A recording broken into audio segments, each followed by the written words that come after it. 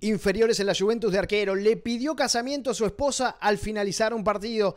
¿Quién es Gianluca Lapadula? Entérate nueve cosas que no sabías del 9 de Perú. Number one. Hoy, sin temor a equivocarme, es el centro delantero de la Copa América.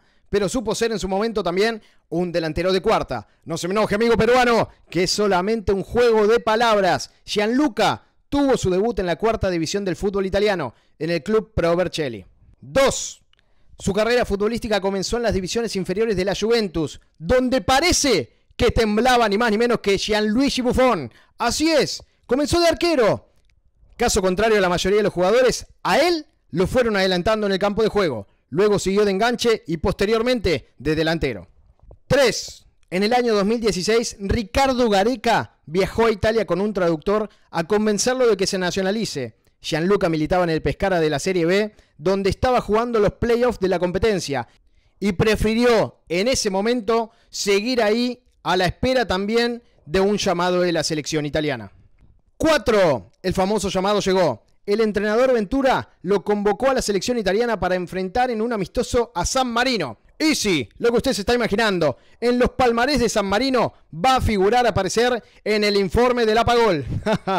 el delantero convirtió tres goles en una goleada 8 a 0, pero no volvió a ser llamado nunca más al seleccionado y como jugó solamente un amistoso, no le impedía ser convocado por otra selección, como en este caso Perú. 5. A mediados del 2016, en pleno auge de su carrera, el Milan posó sus ojos en él y se hizo de su ficha a cambio de 9 millones. 6. Enamora a propios y extraños. Año 2015, cuando se desempeñaba en el Teramo Calcio de la Serie C, al goleador le das un centímetro y te lo cambia por gol. Y si le das un micrófono, propone casamiento. Así fue la forma en que le propuso que sea su esposa a Alesia, madre de sus hijos, que en ese momento dijo, sí, acepto. Lapa confesó posterior a la propuesta, en ese momento pensé, ¿Qué digo yo si me llega a decir que no? ¡Juegue el apagol!